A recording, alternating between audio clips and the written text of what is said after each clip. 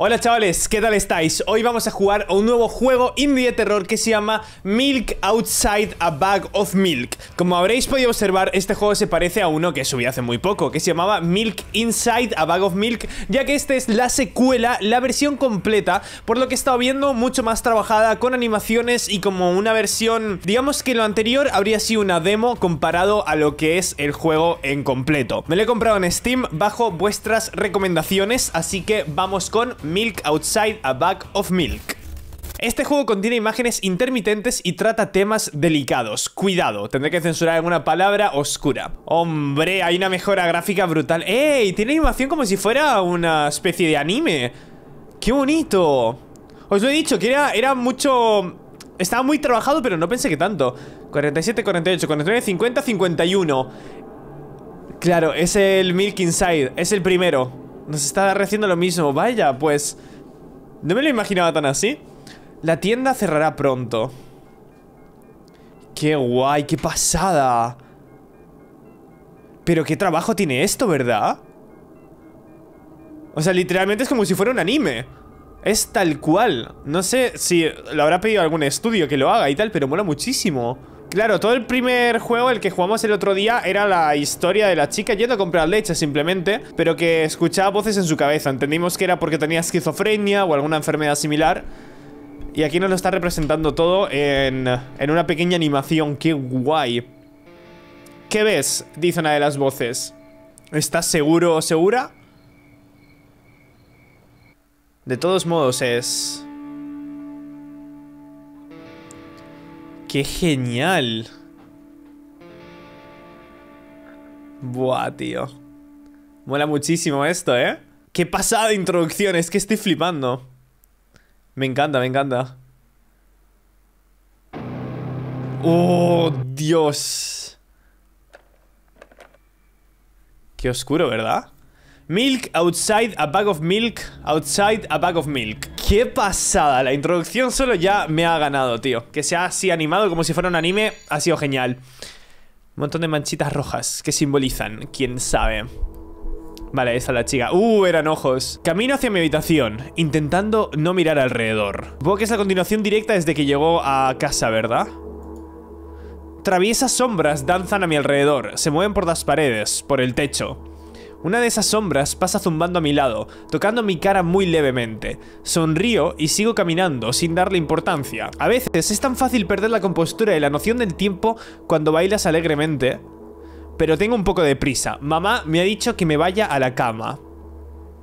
Vale. Entendido. Paso a la cocina de camino a mi habitación. La puerta está cerrada, pero aún puedo sentir el aire helado que viene del otro lado. Lo primero que se me viene a la cabeza es que hay un zombie que sopla por la boca llave, riéndose con sorna.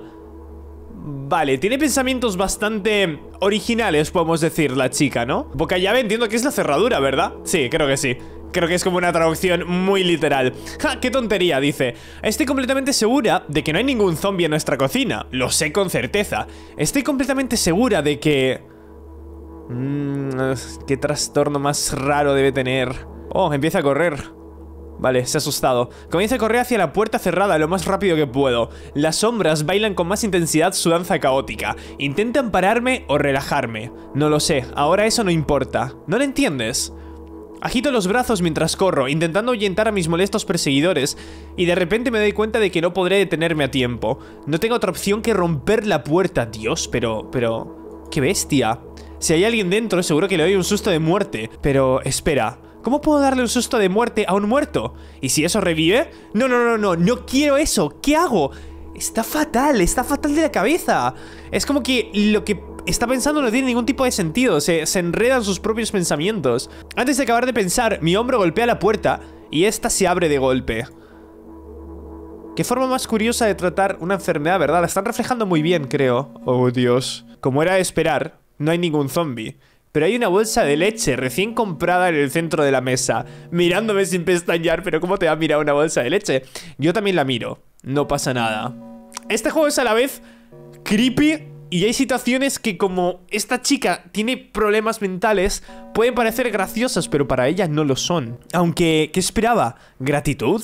¿He hecho algo para merecerla? A una bolsa de leche le es indiferente estar en el estante de una tienda o en la mesa de la cocina de mi madre. Por otro lado, nadie bebe leche en una tienda, lo que significa que la he sacado del sitio más seguro para llevarla a un lugar desconocido. Lo siento, pobrecita. Vale, esto de empatizar con objetos inanimados es un símbolo, un signo claro de un trastorno. Lo sé porque lo busqué hace mucho tiempo. Me doy la vuelta avergonzada y salgo de la habitación. No hago más que causar problemas a los demás, dice. Me dirijo a mi habitación por un estrecho pasillo. Mientras no vaya corriendo y reviente la puerta, ¿todo bien? Oh, esa es la madre. Tío, la madre está representada como algo súper creepy. En la puerta me encuentro con una criatura informe y familiar. Me agarra con fuerza y comienzo a lisquear cada centímetro de mi cuerpo, como un perro famélico. No me resisto, sé que no servirá de nada. Me quedo en silencio y aguanto. Su fuerte agarre impide que me mueva. Es que no sé por qué a la madre la representa de una forma tan brusca y creepy. En efecto, ahí está. Tras olisquearme de pies a cabeza, la criatura extiende sus horribles patas, mostrando una garra, delgada y afilada como una daga. ¿Otra vez? Pregunto mientras miro a los vacíos ojos del monstruo. No te muevas. La criatura aprieta mi brazo hasta que se marcan las venas. Yo sigo observando los agujeros donde deberían encontrarse sus ojos, ignorando el dolor. Lo prometí tantas veces. ¡Quieta! Al momento de decir eso, su garra pincha mi brazo. No siento nada más que el apenas perceptible reptar bajo mi piel y el vibrar de mis tendones tensos. Hostia, qué asco, tío. Y entonces la garra me inyecta su veneno. ¿Pero qué está pasando? Duele, dice la chica. Un blanco velo aparece ante mis ojos, mis dedos se entumecen y comienzan a retorcerse frenéticamente. ¿Se está desmayando, puede ser? Pierdo el control de mi cuerpo y caigo lentamente al suelo, como la última vez, pero... No sé si la madre realmente es así y es con lo que están jugando en este juego, como que la chica tiene trastornos en los que no distinguen la realidad de su mente y nos quieren hacer creer que la madre también es algo de su mente o si realmente este ser, tal y como se ve ahí, es algo real. Pero, ¿por qué me siento tan caliente? Dice. Siento que mi sangre hierve, fuertes escalofríos recorren mi cuerpo, paralizando todas mis células mientras mis venas y arterias se calientan, a punto de estallar por la presión. Oh, no. Intento gritar, pero en vez de palabras, de mi boca sale una espuma lechosa. La criatura se da cuenta y se abalanza sobre mí, enfurecida, agarrándome del cuello mientras mantiene su venosa garra en mi brazo. ¡Mátame! ¡Mátame! grita la chica. Gritos histéricos resuenan por el pasillo. En un ataque de ira, la criatura comienza a arañarme el cuello. Vale, estoy un 85% seguro de que esta criatura es un gato. Gotas brillantes salpican por todos lados, haciendo ruido al chocar con las paredes. Intento recordar dónde cae cada una para recogerlas después. Es un gato, es un gato, es un gato. Debo recordar, debo... Una nueva ola de dolor recorre mi cuerpo. En un instante todo se vuelve negro. Tiene que ser un gato. Y ella lo está confundiendo. Dilo, no volveré a beber leche nunca más. Yo... Dilo. No volveré a beber leche nunca más. Dilo. Otra vez. No volveré a beber leche nunca más. Y lo repite otra vez. Pues no, quizás no era un gato, quizás sí que iba más allá. Uy, flipas. Qué guay el diseño de la chavala, tío. Mola muchísimo. Por fin llego a mi habitación. Estoy tan cansada de todo este alboroto.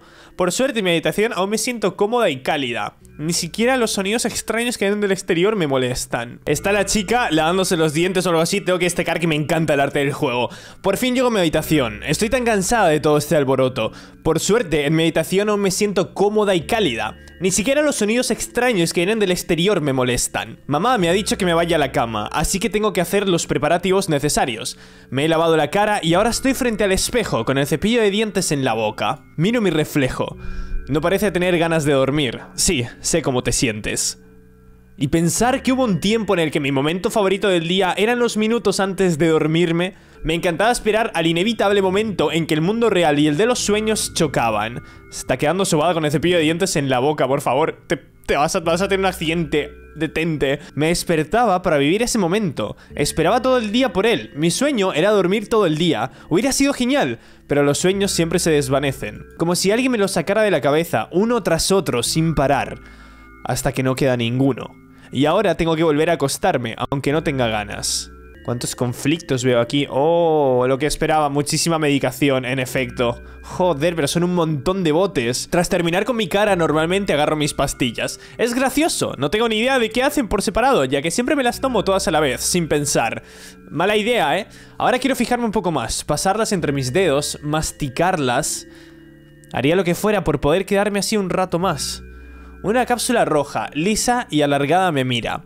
Está cubierta por una película translúcida oscura, pero puedo ver de alguna manera lo que contiene.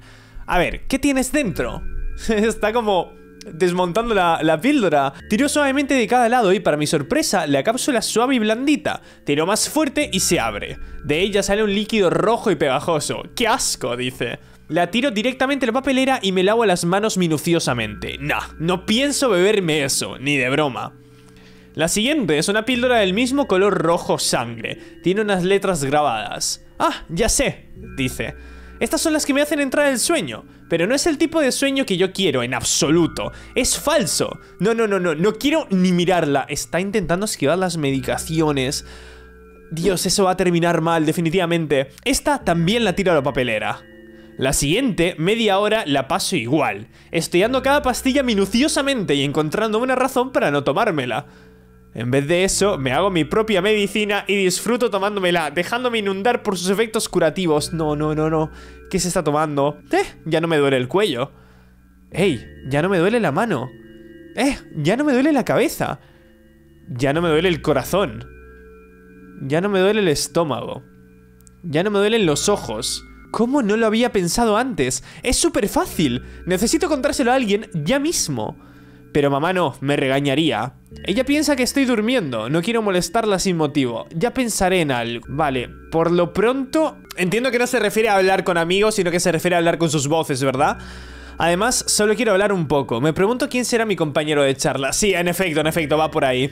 Tío, estéticamente este juego es genial. ¡Hola! ¿Cuánto tiempo? Me dice. Claro, yo representaba la voz en su cabeza, según recuerdo. Hola, ¿qué tal? No ha pasado ni una hora, tonta. ¿Sabes que solo deberíamos vernos una vez al día, no? Mm, vale, voy a decirle esto. No lo tengo claro, pero se lo diré igual. ¿Por qué tu voz suena tan desalentadora? Pregunta.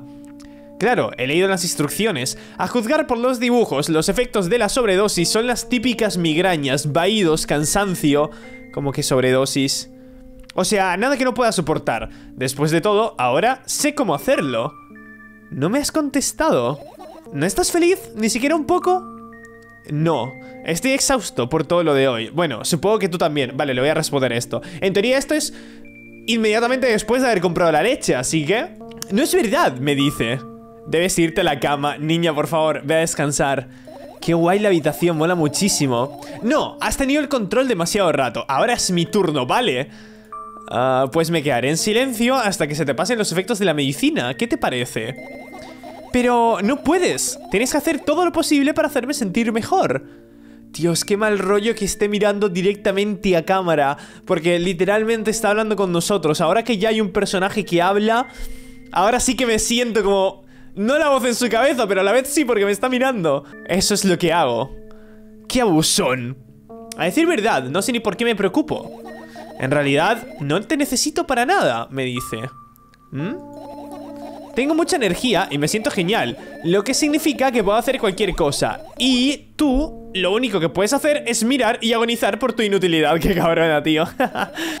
Puedo imaginar tu enfado. Sí, estoy que me subo las paredes. Oh, ¿qué es lo que te ha hecho feliz tan de repente? Mm, voy a preguntarle esto. ¿Y por qué va a estar triste? Vaya, qué cambio, ¿no?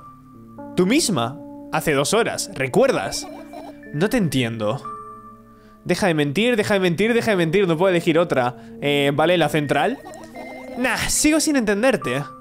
Como quieras. A diferencia de ti, yo nunca olvidaré a esa patética mocosa. Qué fuerte. Que no hace más que lloriquear. Oh, no. No, no, no, no es gracioso. Es nuevamente su mente. Recordemos que esto no es una persona externa, es ella misma hablándose a sí misma. O sea que una parte de su cabeza le está diciendo que, que no vale nada, que no sirve para nada. No intentes arruinarme el momento. Mientras estemos juntos, quiero divertirme, ¿vale? Está hablando consigo misma, ¿vale? Es como su cabeza dividida, su cabeza queriendo estar feliz y a la vez su depresión, su trastorno, queriendo que no lo esté. Está muy bien logrado eso, creo que lo representa bastante bien. Esto lo podrá decir cualquier persona que esté viendo este vídeo y haya pasado por algún problema de estos, pero lo está representando bastante bien. Así que ahora, ¿estás tú al mando? Exacto. Bueno, ya veremos cuánto dura. Claro que lo veremos. Punto, punto, punto. Yo... ¿De verdad soy tan patética? Ah, está haciendo dudar a la parte buena. No, no, no, no, no. Punto, punto, punto, punto. Entiendo que ella representa la parte que quiere luchar, la parte que quiere estar bien. Y nosotros, por desgracia, representamos a la parte, la parte mala. Por eso tenemos que intentar tomar muy buenas decisiones para hacer que esta chica esté bien. Y no tomar malas decisiones ni pasarnos con ella, porque entonces vamos a provocar que la parte mala gane. O sea, nosotros. Di algo, me dice. Puedo sentir lágrimas cayendo por mis mejillas, colgando de mi barbilla y cayendo en mi ropa, haciéndole agujeros. Qué rápido, pero no inesperado. ¡Eh! Al menos lo he intentado, dice. Lávate la cara, luego decidiremos qué hacer contigo. Oh, ya entiendo el contexto y el background de este juego. Ahora entiendo el peso que tienen las decisiones aquí. Este es un juego de toma de decisiones en los que realmente las decisiones van a hacer un cambio. Otra vez frente al espejo. Observo mi reflejo sin parar, intentando que las burlonas miradas de las paredes no me distraigan, tratando de no ahogarme en sus risitas, pero entonces mi reflejo esboza una siniestra sonrisa, mostrándome los dientes. Cierro los ojos, pero eso no ayuda. Ni siquiera que la tierra me tragase ayudaría. Empieza a contar mentalmente. 2 al cuadrado, 2 por 2 al cuadrado, un cuadrado al cuadrado, una pirámide cuadrada al cuadrado, una estructura piramidal al cubo, una estructura piramidal al hipercubo. Ahora me siento mejor, dice la chica, pero mi cabeza está a punto de estallar. Vale, le tengo que decir, ¿cómo te sientes? Oh, perdona por ser grosero. Vale, vamos a disculparnos, quiero que se sienta bien. No es tu culpa, dice. Nunca es tu culpa. Vale, puedes seguir culpándote a ti misma, pero no te pases. No, no le digas eso, necesito más decisiones. Yo... No sé por qué, pero pensé que podría tomar el control. Estaba casi lista. Estaba segura de que podría cambiar al menos un poco. Al fin y al cabo, pude comprar leche, ¿sabes? Sí, deberías saber lo difícil que fue. Ajá. Extraño. Vale, volvemos al baño. Por favor, no te tomes ninguna pastilla rara. Por Dios, tómate lo que te ha mandado el médico. Por eso tiraste tus medicinas. ¡Qué estupidez, ¿no? Sin duda. Sea como fuere, fue tu decisión. Mm, ¿Qué le digo? A ver, es que es una estupidez haber tirado, pero no le quiero dar la razón tampoco. Sin duda. Sin embargo, también hay un lado bueno. Además es peligroso. Vale, le voy a decir eso. Es peligroso. Es peligroso tirar las medicinas. Ya lo sé, dice. Y tú sigues presionándome. Entonces, ¿por qué lo has hecho? Pensaba que podría manejarlo yo sola. Es cierto, en ese momento el dolor disminuyó un poco, pero ahora lo siento multiplicado por 3. Pues tómate la medicina de una vez o dejaré de hablarte. No quiero hacer esto porque esto sí como muy pasivo-agresivo. Esto es incluso un poco manipulador. Así que le diremos, ya sabes qué hacer. Ella sabrá qué decisión tomar. Abatida, agarro las medicinas del estante, me tomo las pastillas una tras otra, ahuyentando las desagradables visiones que siguen flotando en mi mente. Sin embargo, una imagen aterradora aparece en mi mente. Grumos de sangre en un envoltorio transparente viajan por mi esófago, rasgando sus suaves paredes, dejando surcos. Sacudo mi cabeza con fuerza. Me da igual marearme o que me duela más, no quiero pensar en algo tan repugnante. Aún no has cambiado, le dice su voz. ¿Qué quieres decir? Te da miedo quedarte sola. Eso te preocupa mucho más que el dolor. qué mal, tío. Qué pensamientos más intrusivos. Supongo, dice. Lanzo la última píldora al aire y la atrapo con la boca como si fuera un cacahuete, ¿no? Pero por favor. qué mal. Vale. Se desvanece y continúa. Joder, qué bonito es esto, tío, de verdad. O sea, la historia es muy creepy, ¿vale? Pero los dibujos y todo son muy bonitos. Quiero buscar al artista que ha hecho esto porque me parece genial. Me tumbo en el suelo y miro al techo. Puedo oír el agua recorriendo las tuberías. Oigo los bloques de hormigón, que algún día me caerán en la cabeza al agrietarse. ¿Cómo? Joder, yo no pienso en eso cuando miro el techo, tío. Pero eso no me da miedo. No creo que mi muerte venga de arriba. Más bien la imagino acechándome desde abajo, esperando a que baje la guardia. Oh, Dios, qué mal rollo, tío. Qué mal rollísimo. Vale, se queda ahí un rato. ¿Quieres hablar de ello? Pregunto. Vale, vamos a darle que sí. No, estoy cansada de hablar, dice. Vaya, se quiere quedar pensando y ya está. Pero entiendo que como soy una voz en su cabeza, no voy a respetar, no me voy a callar la boca, voy a seguir. ¿Y qué quieres? Dice. Bueno, digo yo. Simplemente quiero estar acostada un rato. No le va a dejar, no le va a dejar. Esto se llama pensamientos intrusivos, literalmente porque no te dejan en paz. Sí, tal cual. Aunque el techo estuviera destinado a derrumbarse, no pasará hoy. No, vamos a respetarla, vamos a respetar lo que ha dicho. Tenemos que intentar que la chica esté tranquila. Tenemos que intentar sacar un buen final, por favor. Vale, esta es la vista del techo, sí. Uf, un poco... Oh, da bastante impresión, ¿verdad? Extraigo con cuidado ideas aún informes de mi cabeza y las coloco en el techo ordenadamente. A partir de ahora, el techo será mi pizarra de corcho, ¿vale? Buena forma de manipular ese miedo. Con la esperanza de armar una imagen completa, las reorganizo, las apilo, las esparzo al azar. Finalmente, molesta, las borro con un movimiento de mi mano y vuelvo a empezar. No puedo. Siempre puedes visualizar tus pensamientos como algo pequeño. Cucarachas, por ejemplo. No, tío, pero... ¡Dios, qué mal! ¡Qué mal ejemplo! ¡Ugh! ¡Odio las cucarachas! Pueden ser luciérnagas. ¿Qué más da? Realmente las luciérnagas son cucarachas con luz, o sea, son cucarachas revolucionadas. Vale, hay un montón de luciérnagas por ahí dispersas. Tendría que poder ordenarlas, ¿verdad? Antes de poder parpadear, mis pensamientos, ahora luciérnagas, ya han comenzado a dar vueltas por el techo y a formar extravagantes patrones por voluntad propia. Solo puedo observarlos y esperar el momento oportuno. Punto, punto, punto. Aquí nos quiere representar que no controla sus pensamientos, sino que ellos la controlan a ella. Punto, punto, punto, punto. Solo que ese momento nunca llega. El burlón susurro del aleteo de los insectos del techo hace que comience a perder la paciencia. Vale. ¡Basta! ¡Os odio! grita. Me levanto de un salto y chillo con todas mis fuerzas. Las luciérnagas se dispersan. Buen trabajo, vuelve a empezar. Sí, hombre, dice. Ese comportamiento inestable te hace quedar mal. Me importa una mierda, grita. ¿No te molesta? ¿Debería? No y sí. Ah, no, no, no, no debería molestarle realmente. Si ella se comporta de esas formas tan extrañas, no es, no es culpa suya, no tenemos que culparle. Hay que ser comprensivos, tío. No. Mucha gente actúa así. Punto, punto, punto. Mm, le hemos hecho pensar, ¿eh? ¿De verdad? Hablarle mal a alguien no tiene nada de malo. Si tienes un buen motivo. No estoy tan de acuerdo, pero parcialmente sí. Tenías un buen motivo, ¿no? Hmm. Te pondrás bien, créeme. Ahora vuelve a empezar. Vale, se vuelve a quedar pensativa. Jeje. Otra vez. ¿A qué te refieres? Déjalo. Además, he cambiado de opinión. Por favor, no vuelvas a quedarte en silencio tanto rato. Sin tu ayuda, lo paso mal.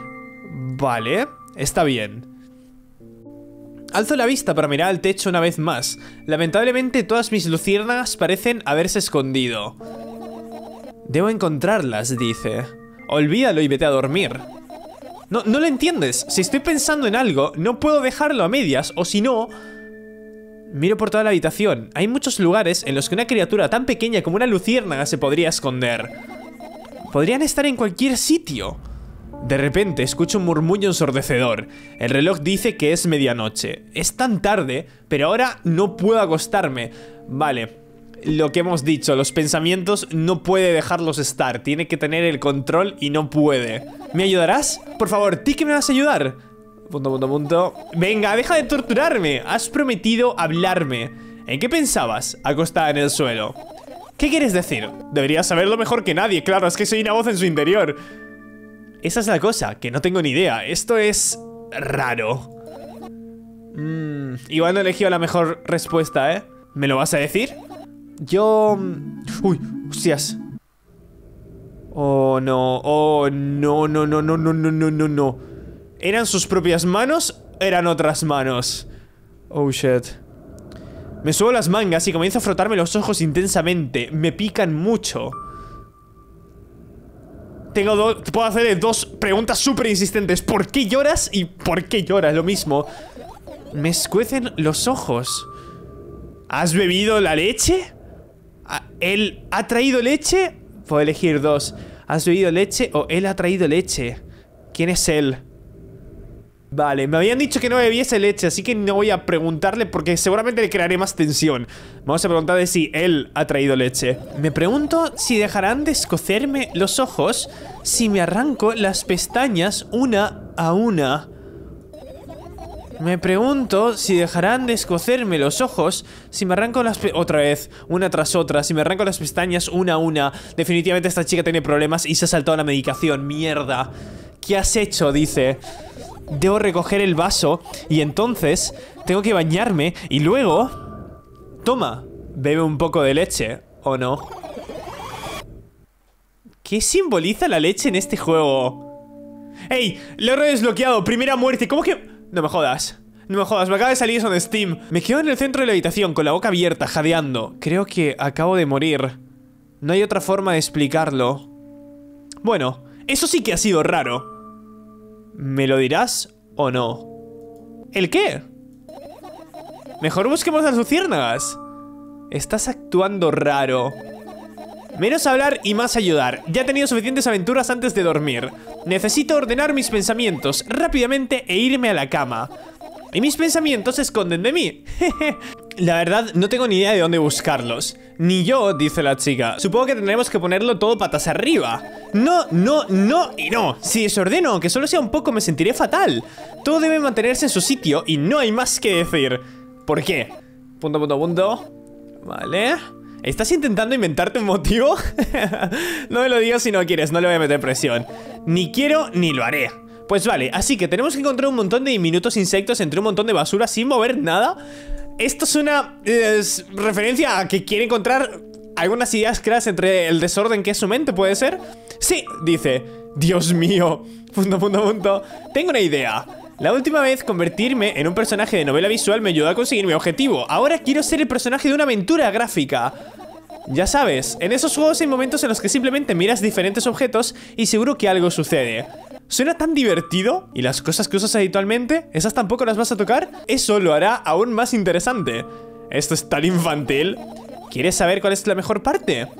Que serás tú el que lo haga. Eso sí que no. Claro que sí. Cuando me hacen escoger entre varias opciones me entra el pánico. No dejaría de cambiar de opinión y acabaría poniéndome a llorar y huyendo. ¿Quieres que pase eso? ¡Qué caprichosa eres! Ya has demostrado que puedes tomar decisiones, ¿por qué no sigues así? Venga, hombre, no seas tan aburrido. Solo te estaba tomando el pelo, dice. No tienes por qué soportar toda la carga tú sola. Pedir ayuda es una opción razonable, ¿vale? Al menos esta parte caótica de su mente que somos nosotros no está siendo tan caótica. Creo que estamos yendo por buen camino. Empecemos ya. Vale, vamos a seguirle el rollo. Me pongo en el centro de la habitación y miro alrededor. ¿Dónde me escondería si fuera una pequeña luciérnaga? ¡Qué emocionante! Mi corazón se acelera por la agradable anticipación. Eh, ¿Qué? Mira abajo. Mira hacia abajo. Tras unos segundos, una pequeña bola luminosa y cálida sale de debajo de mi suéter. Estaba dentro de su jersey, de su suéter. ¡Hala! Tu ropa humea. ¿Qué más da? Vale. ¿Era una luciérnaga o era una chispa y me estoy quemando? Vale, es una luciérnaga, vale, vale, vale. Qué bonito, ¿no? Agarra la luciérnaga cuidadosamente. Su tacto es placenteramente abrasador. Lo pongo sobre mi hombro. Lo siento, pequeña. Hora de volver a casa. Como si de una orden se tratase, la luciérnaga alza el vuelo lentamente, da vueltas alrededor de mi cabeza un rato y se mete en mi oído a la velocidad de una bala. ¡Oh, qué asco! ¡Hace cosquillas! Una menos, busquemos a las demás. ¡Ah! Sí, dice. ¡Dios, qué grima! ¡Ah! ¡Qué ascazo, tío! Vale. Uy. Eso se glitchea. Vale, ventilador, radio, hay muchos objetos a los que puedo interactuar Vale, ya que estamos hablando de juegos y novelas visuales Vamos a tocar el PC Mire mi portátil Hace años que no lo toco, así que está cubierto de una capa de polvo tan gruesa como mi dedo Un objeto extraño, me da miedo ¿Por qué? Es una larga y aburrida historia Quizás ha sufrido bullying, quizás ha sufrido ciberbullying, le ha, tenido problemas en redes sociales y eso ha sido parte de que su trastorno empeore, quién sabe. Maravilloso, cuéntame más. insisto, no recuerdo cómo apareció en mi cuarto. Lo debieron traer mamá o papá porque no encontraron un lugar mejor en el que dejarlo. No me prohibieron usarlo, al contrario, me animaban a hacerlo. Me pasaba el día entero usándolo, jugaba, dibujaba, usaba la calculadora científica, hacía modelos 3D, tantas cosas guays que hacer. Tenías aficiones divertidas. Sí, las tenía, antes de descubrir internet. Imagina, eres un hámster que vive bajo tierra y tienes todo lo necesario para vivir cómodamente, ¿vale? ¿Lo has imaginado? Sí, porque además tengo un hámster y siempre la veo hacer eso. Como siempre, tus analogías son muy acertadas. Vale, me lo imagino. Bien, entonces, eres un hámster que vive bajo tierra y tienes todo lo necesario para vivir cómodamente, ¿no? Vale. Perfecto, pues esta es la situación. Eres un hámster que vive... Vale, lo he pillado. Hablamos de otra cosa. Sí. Vas a acabar volviendo al tema, de todas formas. Punto, punto, punto. Es verdad, no puede cerrar un pensamiento, no puede dejarlo sin cerrar. Un buen día alguien te saca de tu casa de hámster y te lleva a una tienda de mascotas. Ahora tu casa es una jaula. Oh, vale.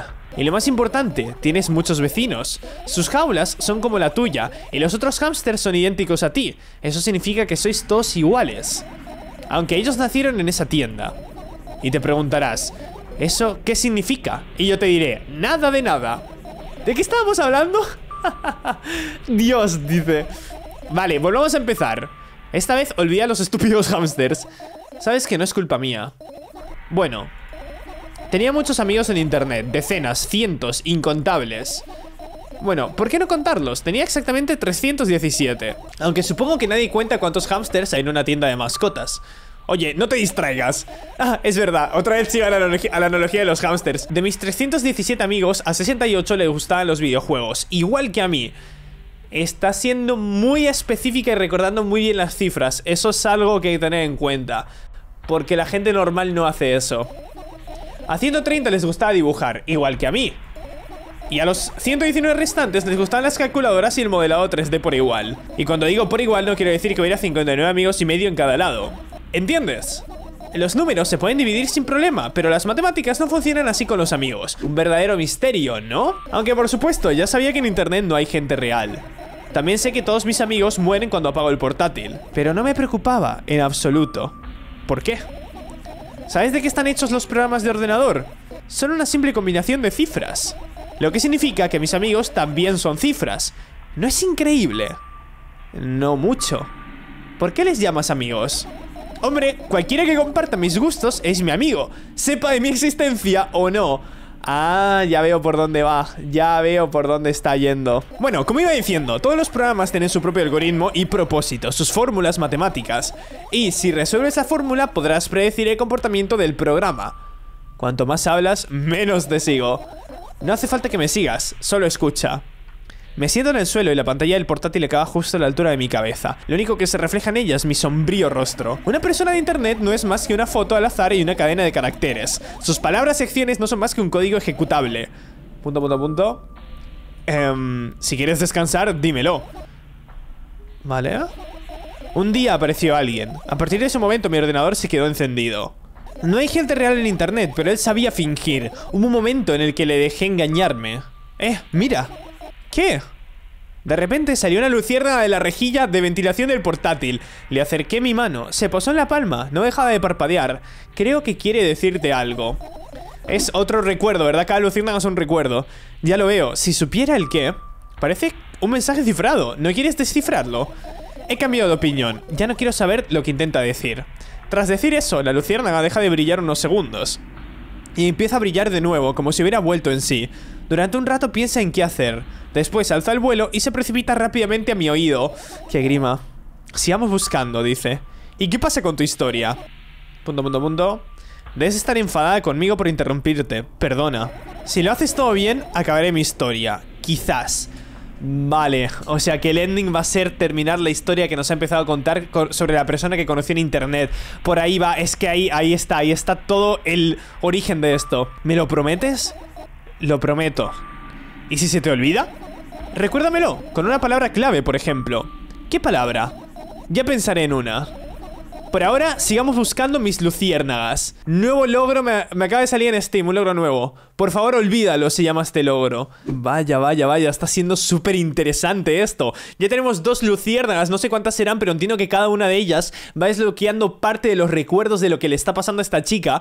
Así que creo que este es un punto perfecto para terminar el primer capítulo de Milk Outside a Bag of Milk. Sinceramente me está sorprendiendo muchísimo más de lo que me esperaba. Comparado al primer juego es... Es 50 eh, veces mejor, o sea, el primero era muy básico, no tenía interfaz casi, era solamente texto y ya está. Pero este está siendo... es que está siendo genial.